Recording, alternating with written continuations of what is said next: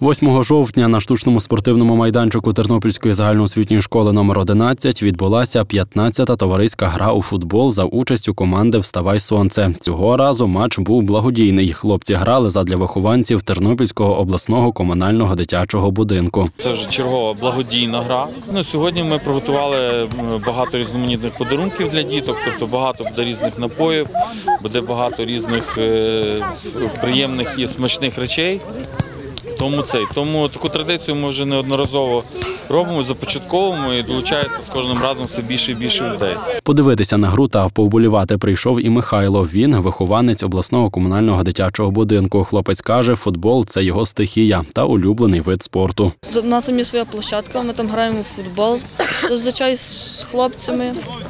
Ну, ходимо на спортивні секції. Хочу стати професійним футболістом.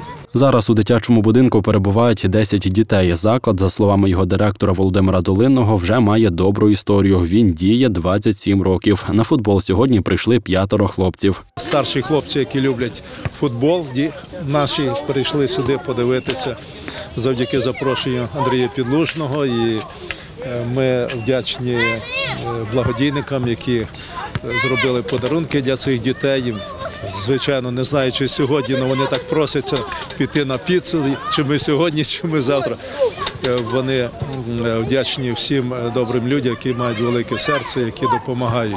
Подібні матчі відбуваються із середини червня. Головна їх мета популяризувати спорт серед молоді. Будь-які змагання спортивні, не тільки футбольні, вони дуже корисні, оскільки вони задіюють багато молодих людей і вони їх займають якимось змагальним таким інтересом, переймаються вони і трошки забираються з вулиць. І ми своїм прикладом показували молоді також, е, що можна з вулиць йти, грати в турнірах, вигравати якісь цікаві подарунки і так не тинятись по вулицях, не займатися різними дурни- дурницями. Напередодні у неділю, зауважує Андрій Підлужний, відбувався великий футбольний турнір. У ньому взяли участь 32 команди, загальна кількість учасників понад 600. В планах також проведення залізного кубку. У ньому зможуть взяти участь виключно військові.